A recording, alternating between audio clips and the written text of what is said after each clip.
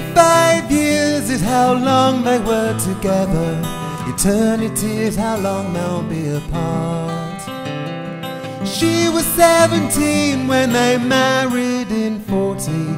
He was born in twenty-two. He remembers Normandy, she remembers the sink. He remembers cheap beer, she remembers cleaning up the stink. Her father said it wouldn't last, her mother only cried. The love died 20 years ago, but Mrs. Cartwright, Mrs. Cartwright's still alive.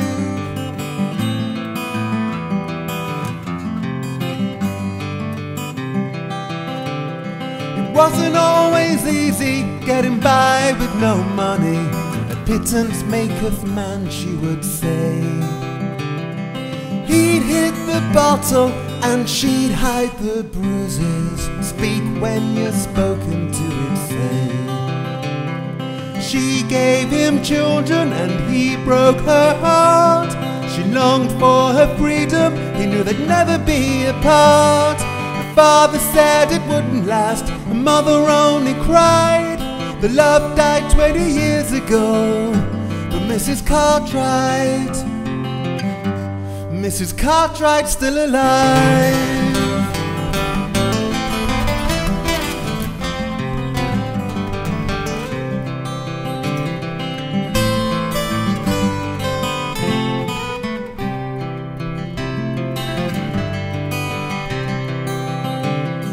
He'd smash her face and then beg for forgiveness.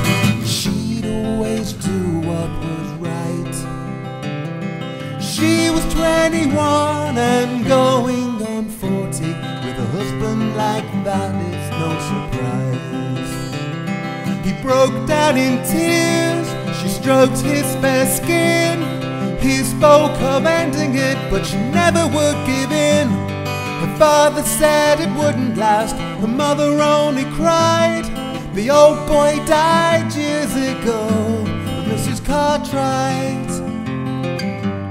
Mrs. Cartwright's still alive.